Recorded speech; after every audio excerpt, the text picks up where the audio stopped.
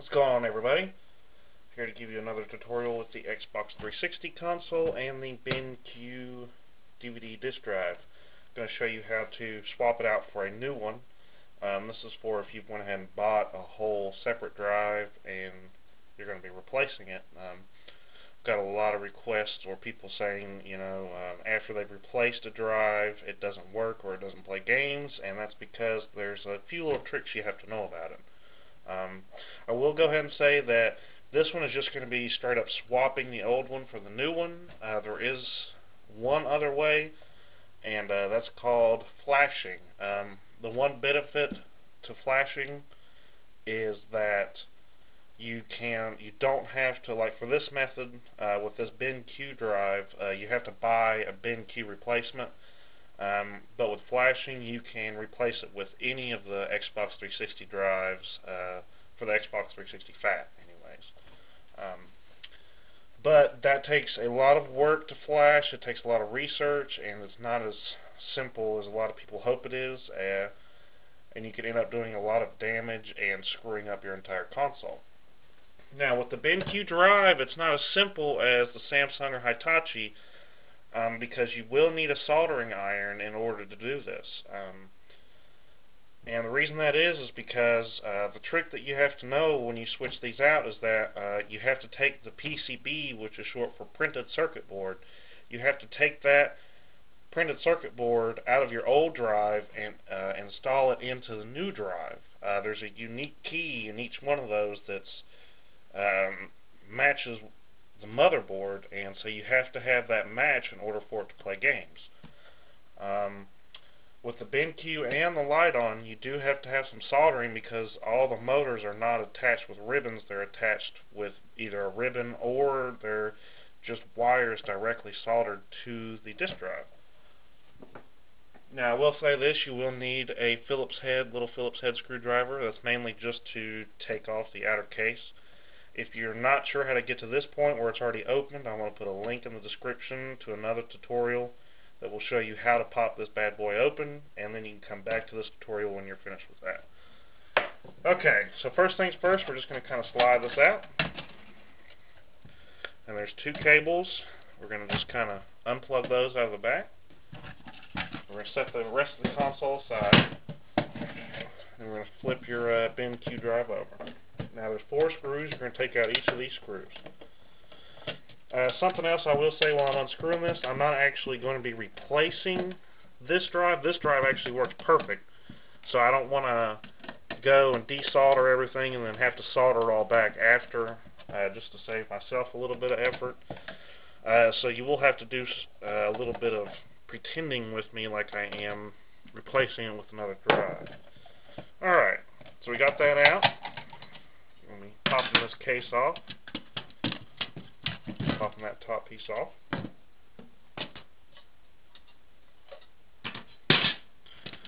Okay, now, if you look closely, all these little places are where the wires for motors and stuff like that are all soldered right onto it. Uh, it's instead of it being a ribbon like this, it's soldered on. And so that's exactly why you have to do this.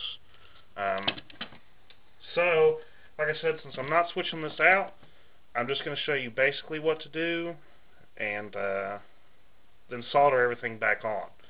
Um, so what we're going to do first is uh, we're going to remove the laser ribbon and the worm motor ribbon. And how you do that is there's this little brown clip here. You're going to slide that out on both of these. Okay? Now there's two clips on either side right here. And you have to pull them both outwards like this. So you pull both of them out and pull the board up at the same time. As you see, my worm motor already popped out. The laser ribbon is probably kind of glued, so I'm going to kind of just work that out like that, and now those are detached.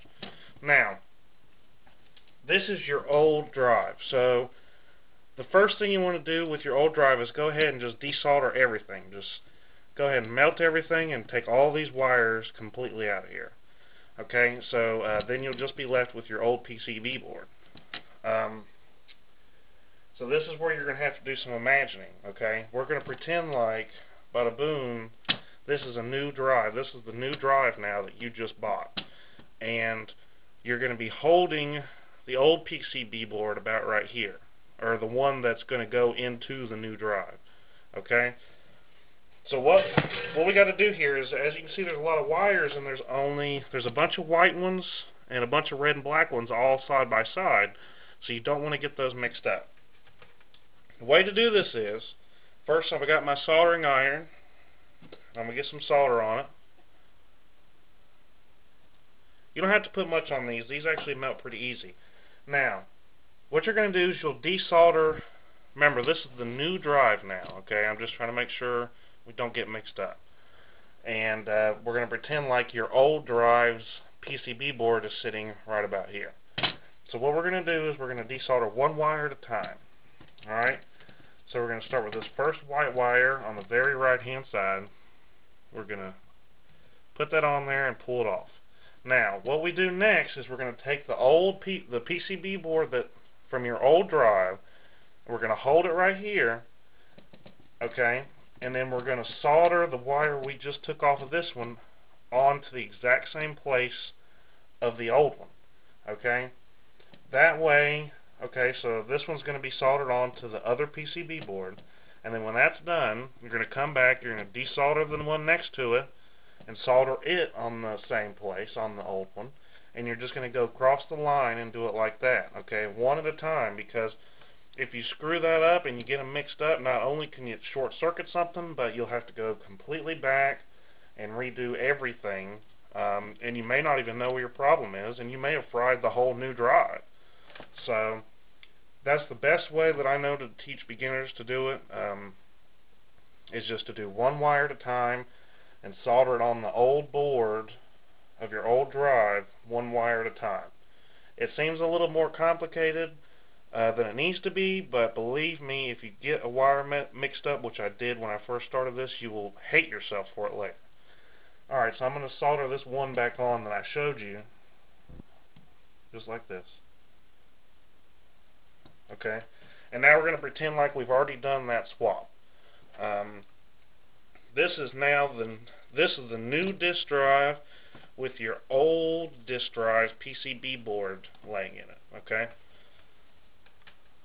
I probably said that too many times, but I just want to make sure that we're clear since I wasn't actually replacing it with the second one and having it right here next to it like you'll be doing.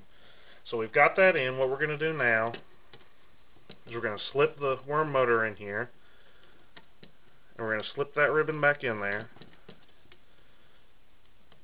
alright give it a little tug after you got that clip and you put it back in there and locked it in if it doesn't just fall out with a little tug then it's it's locked in there. Now you're going to take the uh, laser ribbon. You're going to do the same thing. You're just going to get it slid in there and you're going to lock that little brown lock in place and give it a little tug. Same deal. Now you're just going to pop it back in there in those two little clamps and uh, start installing the case back. Sorry about that guys, there's going to be a little cut there. Um, my uh, camera died out right there at the end of that of this tutorial. Um, all I was really doing there at the end was putting the case back together and putting back in. I'm sure, pretty sure you can figure that out. You just got to put the four screws in and plug the cables back in and you're pretty much done. Um, so I hope this tutorial helped. I hope it wasn't too complicated because I wasn't using another drive like you would be using. Um, but make sure to comment or even send me a message if you have any other questions. If it wasn't quite clear enough, I'll be happy to answer them for you. And uh, you can also subscribe. I've got a lot of repair tutorials, a lot of case modding tutorials. Uh, a lot of stuff around video game consoles. So, anyways, guys, until next time.